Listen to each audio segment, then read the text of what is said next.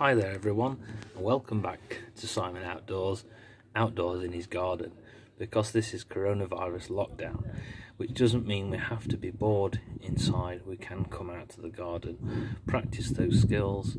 Um, even if you've been doing it for years like I have but I've had months where I've not not done it, I've not done different things. Like yesterday I had uh, the bow drill, it's still there and it's still such a good feeling when you get that ember going the primitive fire. I've just done the fire piston uh, video which I'll be uploading which will probably go up before this one.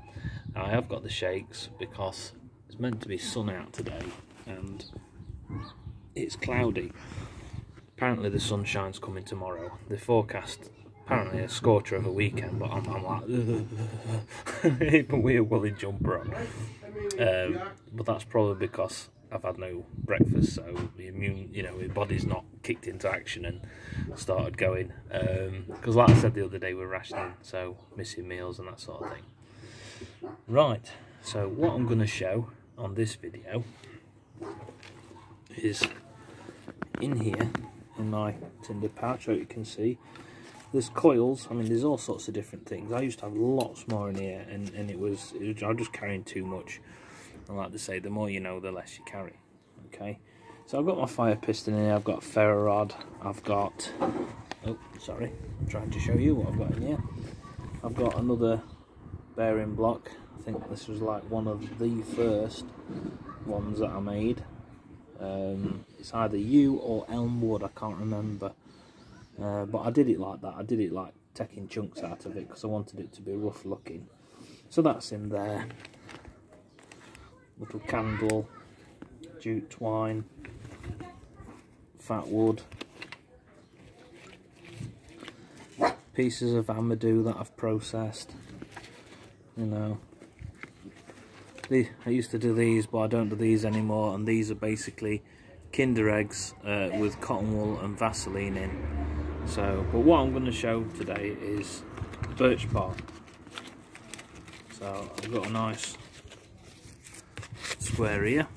So I'll put the uh, camera down and I'll show you how to light birch bark.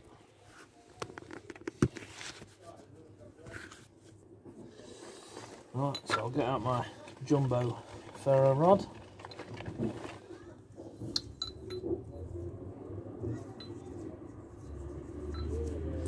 Now you can use a striker to scrape up the bark, which I mean I can do today this is a giant bar of magnesium that I've had on here for ages, but it doesn't get used. And to be honest, if you look at this, my son used it the other day.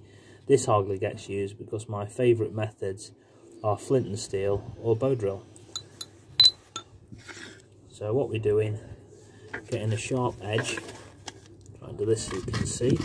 Hopefully this wind doesn't blow it away. And we, we're scraping up a pile of shavings like that. show those to you. There you go. What we're going to do is place the ferro rod right in front of those. Angle, people get this wrong. They go like this and, and it doesn't work. You want to get that edge right in that ferro rod all the way down, okay? And there we are. And then if you've got other pieces of birch bark, introduce it to the fire like that and it'll get going, then get your sticks on. And it's as easy as that. Thanks for watching, Simon Outdoors.